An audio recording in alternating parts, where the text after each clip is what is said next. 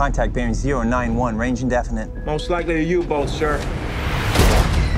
The Battle of the Atlantic is everything that happened in the Atlantic Ocean from the moment World War II began. There were thousands of ships that were operating at any given moment, trying to make the perilous journey from the Western Hemisphere to Britain, sending what was needed to liberate Europe. U-boat, starboard bow!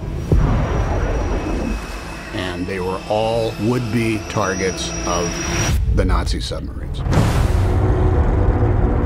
Huffduff reports a German transmission bearing 087 degrees, range 15 to 20 miles. These convoys would have to make long zigzagging courses, hopefully avoiding the submarines, but they were reduced to the speed of the slowest ship in the convoy.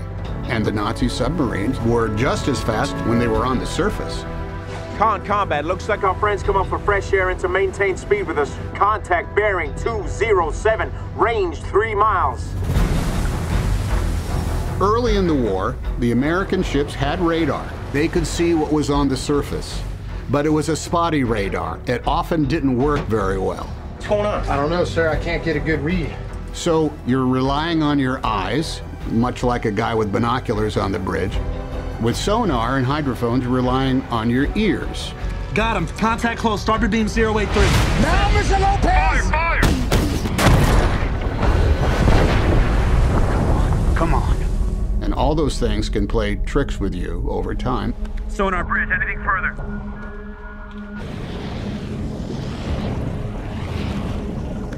Still stationary. Possible decoy. Sonar reports contact is not moving. Possible decoy. Yet another challenge was how primitive communication was between parts of the ship to the captain. Contact bearing starboard. Contact bearing starboard 012, range 600 yards, sir. Mr. Lopez, stand by with a medium pattern. Men and ready, sir. It was a guy's job to repeat what they just heard to the captain or repeat what the captain just told them to whoever he's talking to. And it has to be exact. Contact now bears port 012, range Contact me- 1,000 yards of closing. You gonna do that again? No, sir. If so, you will be relieved. Aye, aye, sir. Ideally, a convoy goes across the ocean without ever talking to anybody but themselves. Any radio signal going from the convoy to headquarters, you didn't want to send those out because if anybody was listening, they'd know where you were. Do I break radio silence with a message to the Admiralty? Every ship was on their own. We are running down a target. Let us attend our duties well. This is what we train for. There have been movies about World War II, but we expanded it.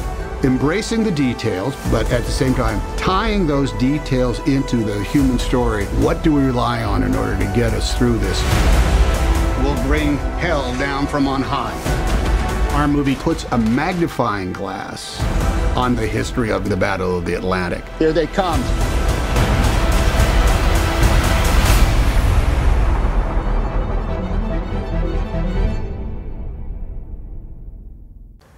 Hey, Lisa here with more on Tom Hanks. Now, the actor is no stranger to winning awards for his acting abilities, and he, along with Spencer Tracy, remain the only two actors to have won back to back Oscars, Hanks being for Philadelphia in 1993 and Forrest Gump in 94. At the age of 45, he also became the youngest ever to receive the American Film Institute's Life Achievement Award on June 12, 2002. Now, do you like my t shirt? You can get one for yourself in the link in the description.